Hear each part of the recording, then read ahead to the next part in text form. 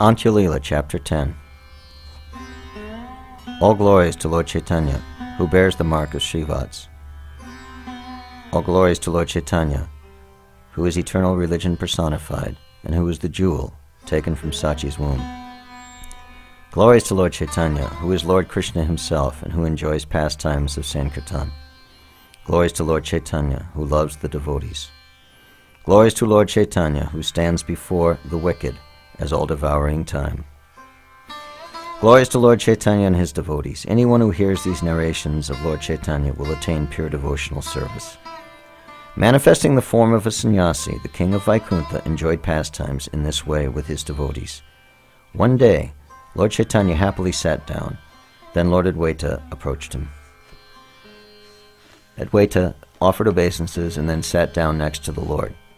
Smiling, Lord Chaitanya asked a question of Adwaita. Lord Chaitanya cheerfully said, O Acharya, please tell me, where did you go and what did you do? Adwaita Acharya said, I saw Lord Jagannath, then I came to you. Lord Chaitanya said, After seeing Lord Jagannath, what else did you do? Please tell me. Adwaita Acharya said, Before seeing Lord Jagannath, I circumambulated him five or seven times. Hearing the word circumambulated, Lord Chaitanya smiled. Smiling, Lord Chaitanya said, You are defeated. Then Advaitacharya said, How am I defeated? Show me the reason, and you will have defeated me. Lord Chaitanya said, Hear how you are defeated. You performed a circumambulation. When you walked behind Lord Jagannath, then you cannot see him. When I see Lord Jagannath, my eyes do not go anywhere else. I only see Lord Jagannath's face and nothing else. Folding his hands, Lord Adwaita said, In this way I am defeated by you. No one in the three worlds can eloquently talk like you. I say the truth. There is no one like you. You alone are the Lord. You alone are the Great One. With these words I am defeated. Hearing these words, the circle of Vaishnavas smiled. Chanting Hari, they made a great tumult of auspicious sounds. Speaking very wonderfully in this way, Lord Chaitanya delighted Advaita Acharya. One day, with Lord Chaitanya, Gadadhar discussed his previous mantra initiation. Gadadhar said, The Ishta mantra, I say, does not stay very well in my mind. Please tell me that mantra again, then my heart will be happy. Lord Chaitanya said, Anyone who gives you that mantra again will become an offender. The person who gave you that mantra is the very life of both you and me. It is not right for me to tell you that mantra again. Then Gadadhar said, Then you cannot act on my Guru's behalf. Lord Chaitanya said, Your Guru is Pundarik Vidyanidhi. By the Supreme Lord's arrangement, you will meet him again, and he will give you the mantra again. Then Lord Chaitanya, who knows everything, who is the crest jewel of they who know everything, said, Pundarik Vidyanidhi will soon come to Orissa. In ten days he will come here to see me. Pundarik Vidyanidhi always stays in my heart. I know that you will draw him to this place. Hearing Srimad Bhagavatam from his dear devotee, Gadadhar's mouth, Lord Chaitanya would enjoy great happiness. Hearing Gadadhar read Srimad Bhagavatam, Lord Chaitanya would manifest many symptoms of ecstatic love. A hundred times Lord Chaitanya attentively heard Gadadhar read the story of Prahlad and the story of Dhruva. Lord Chaitanya had no time for any other activity. Again and again he heard and chanted the names and glories of Lord Krishna. Saintly Gadadhar would read Srimad Bhagavatam, and Swarup Damodar would sing kirtan. When Swarup Damodar sang songs glorifying Lord Krishna, Lord Chaitanya would dance in ecstasy. Tears, trembling, laughter, fainting, roaring, and standing up of the body's hairs were only some of the symptoms of ecstatic love Lord Chaitanya manifested. All these ecstatic symptoms became personified in Lord Chaitanya. Manifesting them all, Lord Chaitanya danced. Hearing Swarup Damodar's loud kirtan, Lord Chaitanya could not stay in external consciousness. Moment after moment, he fell to the ground. No other sannyasi associate of the Lord was Swarup Damodar's equal. In the same way, he loved Paramananda Puri Goswami, so Lord Chaitanya loved Swarup Damodar. Swarup Damodar's singing was like nectar. Hearing it, Lord Chaitanya would dance. Disguised, he would wander in the city. No one had the power to recognize who he was. He sang kirtan like Narada, who plays the tumburu. He would make Lord Chaitanya dance. Who was more glorious and fortunate than him? Among the sannyasis, none was dear to Lord Chaitanya like Swarup Damodar. Only Paramananda Puri was like him. Swarup Damodar and Paramananda Puri were the two foremost sannyasi associates of Lord Chaitanya. They always stayed with the Lord. They carried the Lord's sannyas danda. Paramananda Puri was fond of meditation, and Swarup Damodar was fond of kirtan.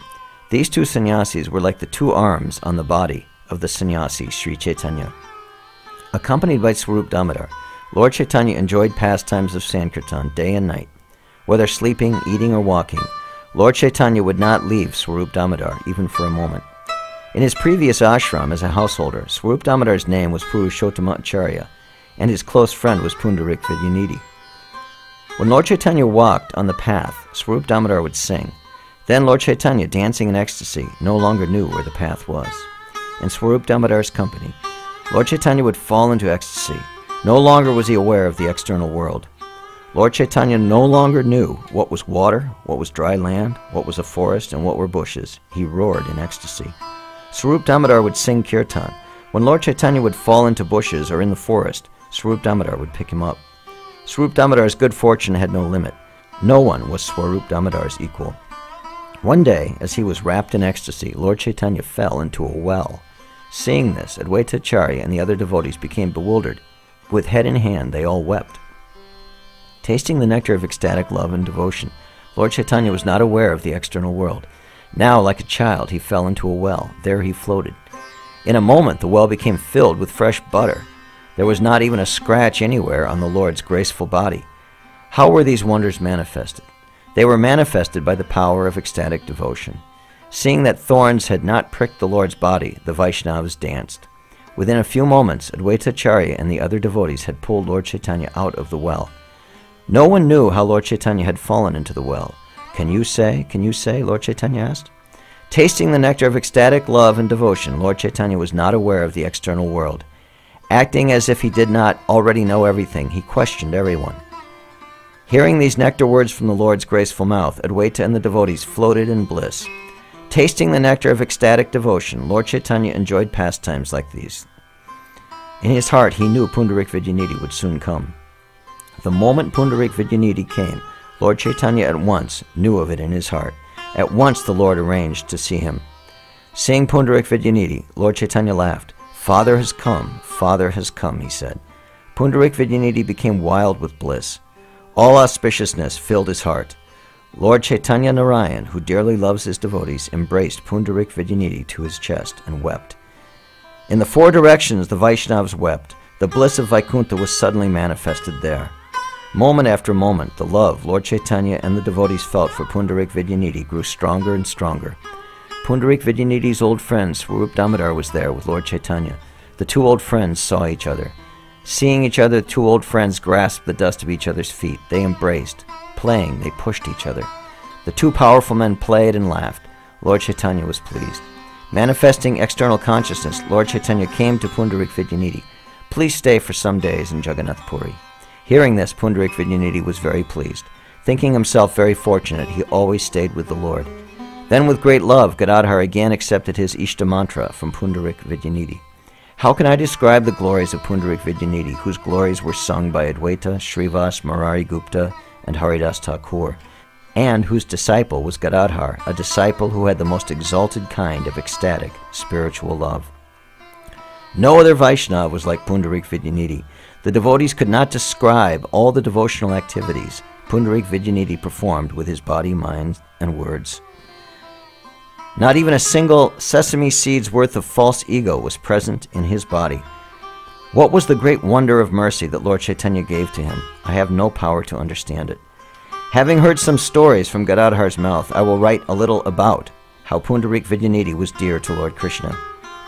Making his home at Yameshwar by the seashore, Pundarik Vidyanidhi stayed near Lord Chaitanya.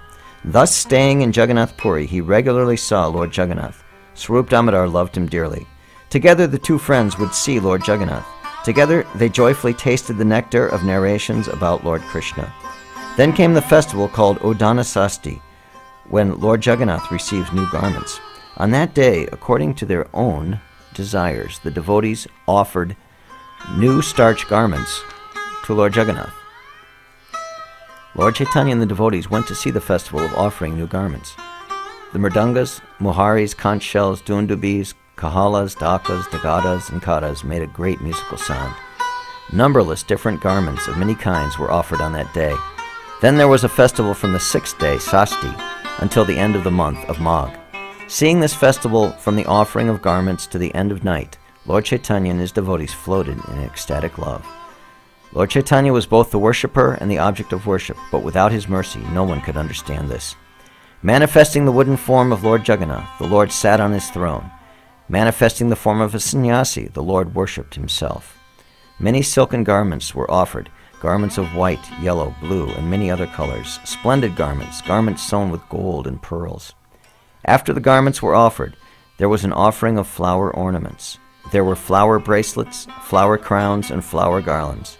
With incense, lamps, and all the sixteen kinds of offerings now scented with flower fragrances, arti was offered to Lord Jagannath. Many different kinds of food were offered to him. After seeing this festival with his associates, Lord Chaitanya happily returned to his home. At home, he bid good night to his associates. Then the Lord happily retired to his own room. When everyone had left, Pundarik Vidyanidhi stayed there with Swarup Damodar. The two of them spoke from their hearts. Without deception, they told everything. A doubt about Lord Jagannath's accepting new starched garments took birth within Pundarik Vidyanidhi. He asked Swarup Damodar, Why do they give new starched garments to the Lord? Why, ignoring the Shrutis and Smritis and without even washing them first, in this country do they offer starched garments to the Lord? Swarup replied, Listen to this explanation. There is no fault in the custom of this country. Persons who know the Shruti and Smriti may not always observe this festival. Still, if the Supreme Lord did not desire this festival, why did he not forbid the king to observe it? Then Pundarik Vidyanidhi said, Good, the Supreme Lord may do whatever he wishes, but how can the Lord's servants imitate him and do whatever they wish? Why would Lord Jagannath's priests, decorators, servants, and message carriers offer him impure, unwashed, starched garments? Lord Jagannath is the Supreme Personality of Godhead. He may do whatever he wishes, but does that mean that everyone else may do whatever they wish? When one touches an unwashed, starched garment, one must immediately wash his hand. Why would an intelligent person not follow this rule? Not thinking of this, the king's representative puts unwashed, starched garments on the supreme king's head. Then Swarup Damodar said, Listen, O my brother, I think there is nothing wrong with the Udanasasti festival. The Supreme Personality of Godhead has descended to this world as Lord Jagannath. He does not have to think about rules and prohibitions. Pundarik Vidyanidhi said, O my brother, please hear my words. Lord Jagannath is indeed the Supreme Personality of Godhead. If he jumps over any rule or prohibition, he is not to be blamed. He is indeed the Supreme Personality of Godhead staying in Jagannath Puri. He indeed may neglect all ordinary customs. He is indeed the Supreme Personality of Godhead descended to this world. After this conversation, the two friends walked on the path. They smiled, they laughed and laughed. Holding hands, the two friends laughed at the idea that Lord Jagannath's servants could have been at fault. They knew the power and glory of the Lord's servants. They knew how much Lord Krishna loves his servants. Sometimes Lord Krishna bewilders his servant. Then, with a merciful heart, the Lord breaks that bewilderment. The Lord had personally bewildered Pundarik Vidyanidhi Please hear how the Lord mercifully broke that bewilderment. The two friends left the room and happily performed their duties for Lord Krishna. After accepting a meal, they returned to Lord Chaitanya's place. Returning to the Lord's place, they fell asleep. Lord Chaitanya knows everything. Manifesting the form of Lord Jagannath, he entered Pundarik Vidyanidhi's dream. Pundarik Vidyanidhi saw Lord Jagannath enter that dream. Lord Jagannath angrily stared at Pundarik Vidyanidhi. Then he slapped Pundarik's face. Both brothers, Jagannath and Balaram, violently slapped Pundarik's cheeks. Pundarik Vidyanidhi was in pain. Krishna, save me, he called out. Please forgive my offense. He begged and fell at the Lord's feet. He asked, O Lord, what is my offense that you beat me? The Lord said, Your offenses have no end. You do not know anything about the exalted nature of me or my servants, even though you stay in this place. Why do you stay in this place? It will ruin your status in the upper castes. You should go to your own home. Then you will protect the upper caste status. You thought there was something wrong with my festival? You treat me like the Supreme Lord, but you criticize my servants? You saw a mistake in the offering of starched, unwashed garments? In the dream, Pundarik Vidyanidhi became terrified at heart. Holding the Lord's graceful feet to his head, he wept. He said, Lord, please forgive the sinner's offenses. I am an offender. I am an offender. Lord, this I tell you. Lord, you have punished this mouth that mocked your servants. Lord, in this way, you have been very good to me. An auspicious day now dawns for me. With your own graceful hand, you slapped my mouth and cheeks. Then Lord Jagannath said, Seeing that you are my servant, I have been kind to you. That is why I punished you. In that dream, two lords cast an affectionate glance at Pundarik Vidyanidhi. Then the two brothers, Lord Jagannath and Lord Balaram, returned to their temple. After seeing this dream, Pundarik Vidyanidhi woke up. Seeing on his cheeks the marks of the Lord's slaps, Pundarik smiled. Seeing on his cheeks the marks of Lord Jagannath's slaps, Pundarik Vidyanidhi said, This is auspicious. This is very auspicious. I have committed an offense, and the Lord has punished me. I am fortunate the Lord punished me only slightly. Look, look at Pundarik Vidyanidhi's glories. The Supreme Lord's mercy to his servant is very great. To teach him, the Lord never even punished his own son Pradyumna in the same way. Neither did the Lord punish Sita, Rukmini, or Satyabhama, his other personal associates, or the hosts of demigods and the demigoddesses in such a way. It is not often that the Lord will directly appear before someone in a dream and mercifully punish him for an offense. A devotee punished in a dream is very fortunate. When he awakes, his offenses are no more. If he is mercifully punished by the Lord in a dream, a devotee attains all that is good in this world. In this world, no one is fortunate like him. The Lord never speaks in dreams to non devotees. Please consider this. The Yavanas may commit many acts of blasphemy and violence, they may see many dreams.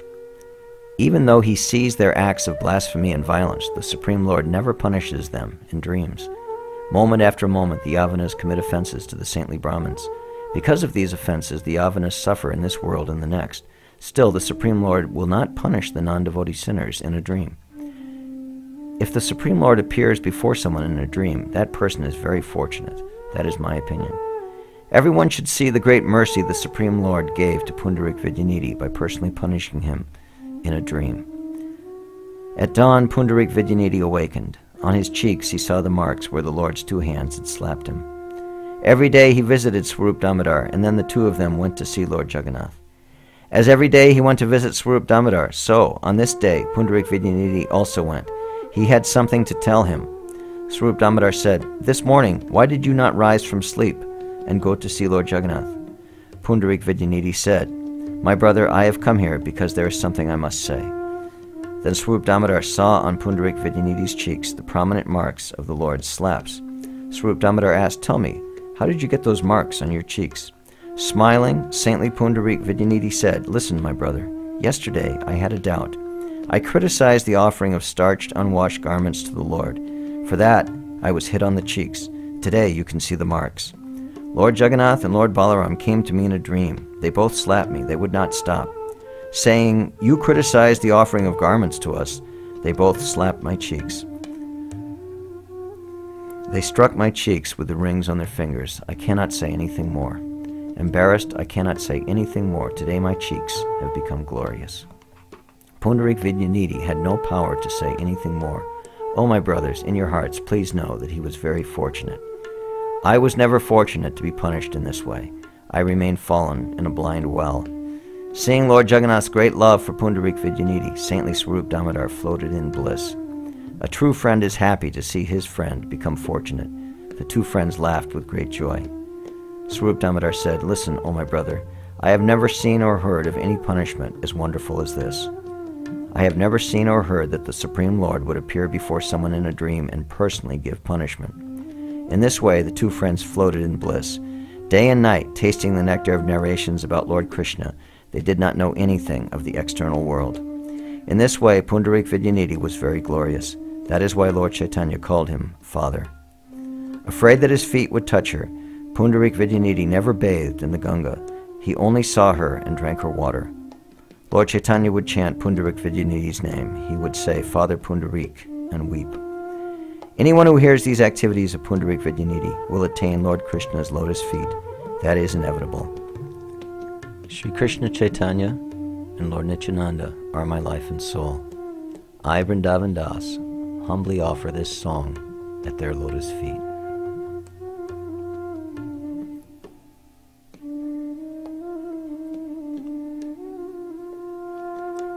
Thus ends Sri Chaitanya Bhagavat. This presentation has been an offering to His Divine Grace A.C. Bhaktivedanta Swami Prabhupada, who revealed Lord Chaitanya's pastimes to the world.